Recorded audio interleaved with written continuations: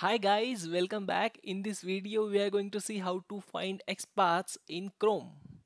So let's open Chrome browser and open any website,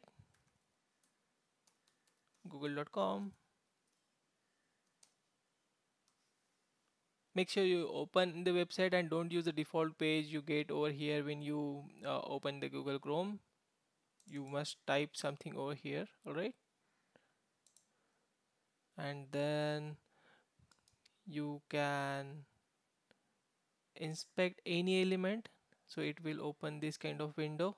This is developer tools. Now on this developer tools you can just say control F control plus F.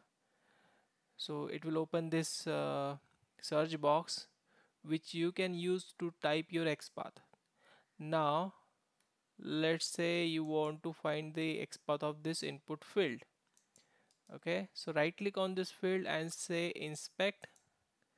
It will highlight the source code or the HTML tag for that uh, input field. Now if you hover your mouse on this HTML source code it will highlight the UI component on uh, the HTML page. You can see it over here right? When I uh, move my mouse over here you can see the highlighted input field. Now you can just right click on this input uh, tag and say copy and you can say copy XPath okay? And whatever XPath is copied you can just paste it over here and your XPath is ready.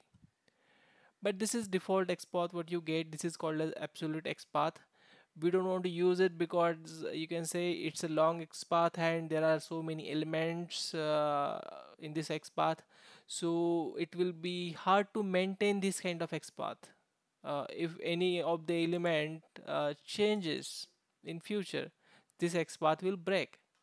So we will need a relative XPath for that.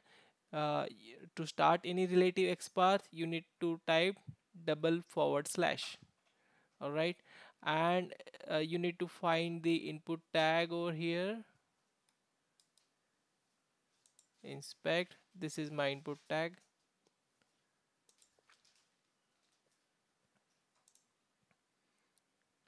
And uh, you need to find a unique attribute of this input tag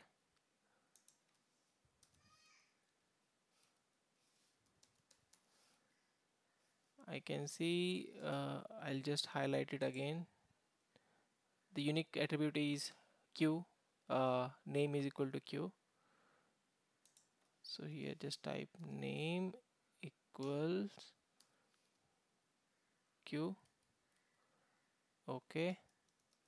See your XPath is ready and when you press enter it highlights the uh, input field on UI and here you can see there is only one element with this XPath so you're good. This is how you can find XPath uh, in Google Chrome. Uh, we'll make other videos for finding XPath on other browsers and we'll have a XPath tutorial as well. Uh, and uh, when we complete that tutorial we will mention the link of that uh, tutorial in the description of this video friends if you uh, like this video if this video helped you subscribe to this channel and hit that like button on the video and let us know your thoughts in comment section. Thank you for watching. See you in the next video. Bye bye